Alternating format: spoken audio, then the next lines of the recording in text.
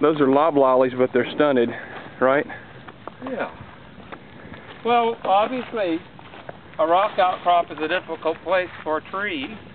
Trees need a lot more soil than these little yellow daisies or these toadflax. And uh, soil is at a premium here. And I doubt that this plant, this, these loblolly pines are making do on the three or four inches at the most that we see. There's almost certainly a crevice there that's covered up by mosses and, and pine needles and other kinds of uh, litter.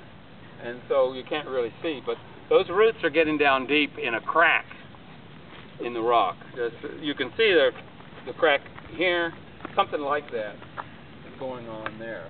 But they wouldn't be able to get this big on the little soil that you can see.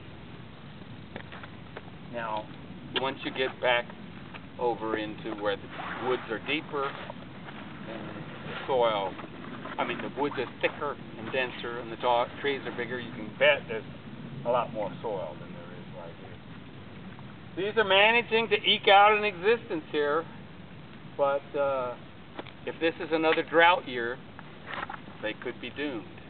Maybe the rocks are somehow, some degree, holding some of the roots uh, over top the roots. The roots have gone under the, some of the rock and thereby helping to keep the plant vertical.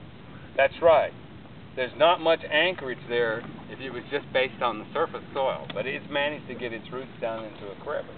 And so it's probably well anchored. It has a better source of water than uh, some of these others. But we can certainly see some that haven't made it. There's a dead one over there.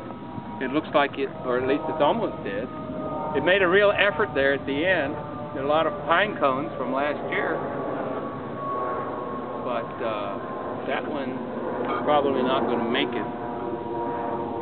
These, well, the jury is out. It all depends on how much drought as to whether these will be here next year and the year after that.